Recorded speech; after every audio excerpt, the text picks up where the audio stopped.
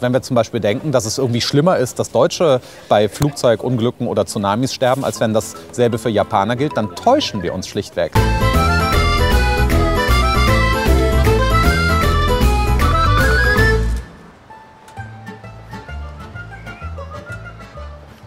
In der Kirche geht ja der Klingelbeutel um und es wird auch immer dazu gesagt, wofür jetzt diese spezielle Kollekte ist. Einmal ist die zum Beispiel für hungernde Kinder in Afrika und ein anderes Mal kann die auch für die Alkoholikerhilfe sein. Ist es eigentlich okay, wenn ich sage, für die Kinder gebe ich was, aber Alkoholiker, nö? Äh, das wäre natürlich nur dann so, wenn ich klarerweise erkennen kann, dass der eine Zweck ein ethisch gerechtfertigter ist, für den auch vielleicht die Kirche dann zuständig sein könnte, und der andere überhaupt nicht. Natürlich würde ich kein Geld geben für die Anschaffung von Panzern in Syrien. So. Dafür wird ja auch nicht gesammelt. Genau, eben. Es wird ja normalerweise immer für einen erkennbar guten Zweck gesammelt. Und dann sollten wir natürlich keinen Unterschied treffen.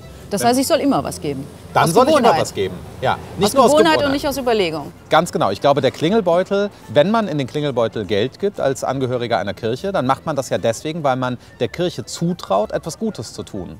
Und wenn man äh, im Allgemeinen und nicht, weil man selber das tut. Sonst kann ich ja auch irgendwo hingehen und den hungernden Kindern direkt helfen. Ich darf Leid nicht hierarchisieren. Ganz genau. Ich glaube, Leid ist insgesamt ein Problem. Wenn ich zum Beispiel denke, äh, natürlich haben wir vielleicht auf den ersten Blick mehr Mitleid mit hungernden Kindern als mit Alkoholikern, aber das liegt da, äh, unter anderem daran, dass wir vielleicht denken, Alkoholiker sind es selber schuld und uns daran aber täuschen.